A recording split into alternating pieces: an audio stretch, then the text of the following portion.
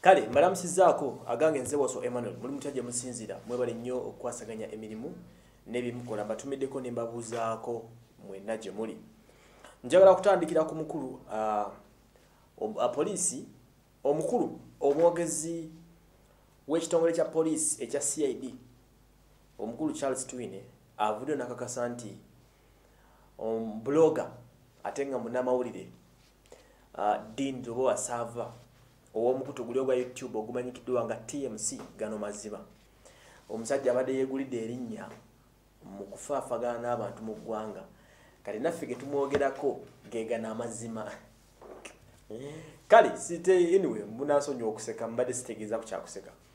Uh, gano ge mazima omanyi gano mazima ku dini lubwa saava bulijjo yakola amazima ku banne kanga mukoleko leero gano mazima dini lubwa saava amazima agamwogerako olunaku lwero gali nti amaze okuba nga kukwatibwa poliisi.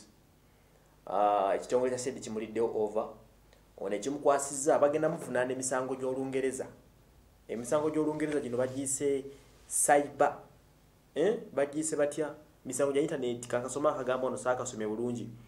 Aha. Bagiyise offensive communication ne cyber stalking okubeera nga asaasaanya amawulire agasasamaza n'agakyankalanya embeera ku mikutu gino gatta bantu egya intaneti omuntu ayinza okwebuuza saava kiki ekimukwasizza gwalina youtube osobola okunoonya ku mukutu gwa saava nola ku byabadde ayogerako ogwa tmc gano mazima.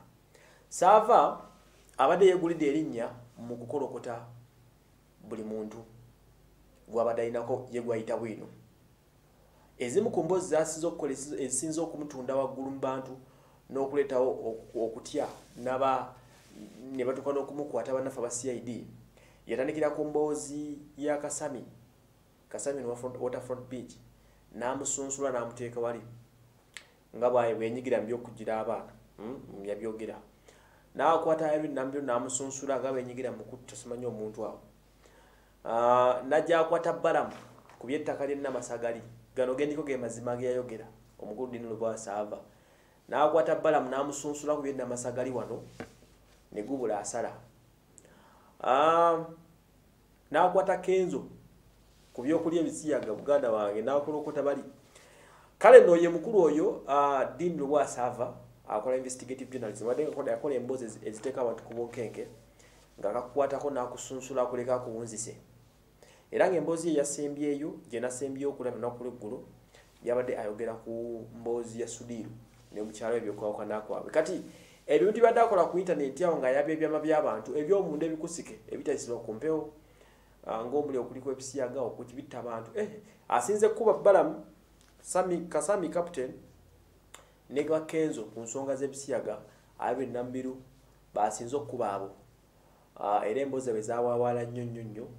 N'avaawo n'akwata ne kuba obutale juzi aze nga akwata topic pa topic ng'agikuba n'agisusula n'agiteeka wali omukulu deni lowasaava deni lowasaava amazima agamuliko yakolerako ku ntv akawungezi ne balemagana ne bamugoba.